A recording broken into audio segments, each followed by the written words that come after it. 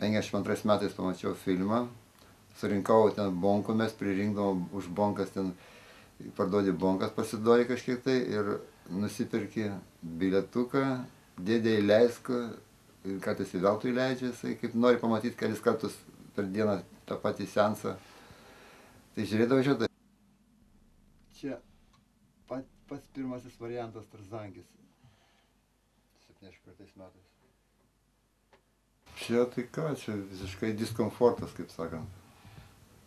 Miške tai komfortas, ten gražu, viskas harmoningai, gamta ošia, o čia jau kiti, kiti dalykai, čia kaip uždarytas dėžutė kažkokia. Tai.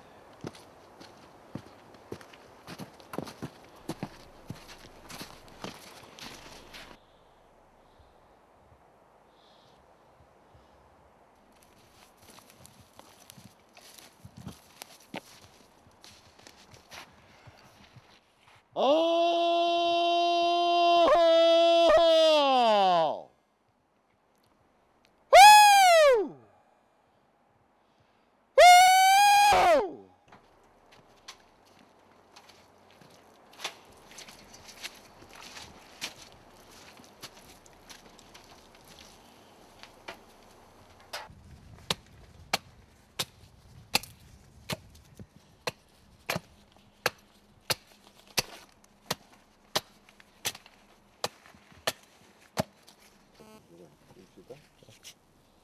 Vinda para o.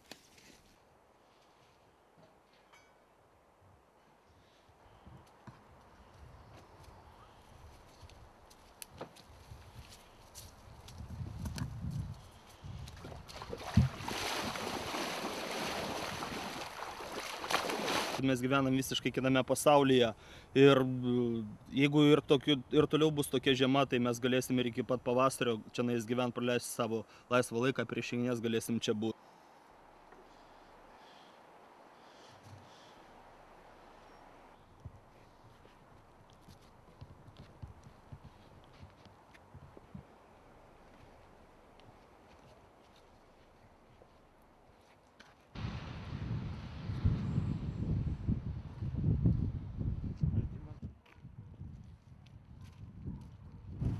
Pati būnu dažnai prie to ežero.